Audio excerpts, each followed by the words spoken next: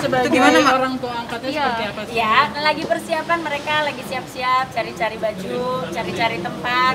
Nggak ngerti gue anak zaman sekarang ya, pengen kawin pengennya buru-buru. Jadi emang ya lagi nyari tempat nih ternyata tanggal yang dia mau penuh semua. Nah, tapi Benar di Mbak bulan bulan Oktober, Oktober ya? Ma Mais. Iya, insya Allah. Mbak Isi Mais sendiri ikut terlibat di- nggak sih? diminta Ya, kan ikut anak ya. partisipasi. Bener di bulan Oktober ada ini nggak? Insya eh, Allah. Ada bantuan finansial buat acaranya Rizky nggak dari Isi? Ya namanya orang tua ya. Udah ya. Ya. Mais seperti apa sih konsepnya sendiri untuk itu? Untuk acara ya. Kalau kalau Ido mah sederhana, kita mah sederhana. Karena kan memang eh, kita juga orang keluarga yang sederhana. Jadi mau ini sederhana aja, apalagi lagi pandemi kayak gini. Memang bener-bener keluarga banget aja yang datang. Terus eh, nanya ke Ma Isda nggak seperti apa mereka Bakal bikin konsep apa gitu, yang yang Ma Isda? Semua nanya lah kalau Iki Ido mah. Ma Ido nikah buru-buru terkesan cepat eh, cepet-cepet nggak sih Ma?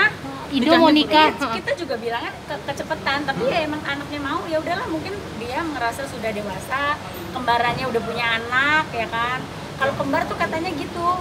Sosok calon mempelai perempuannya oh, gimana, iya, iya, Mbak sampainya Isi sendiri udah ketemu sama Sama calon pasangannya lain video call video call aja. Oh tapi belum ketemu langsung. apa sih Eh pendiam anaknya, cantik diem. Udah ya.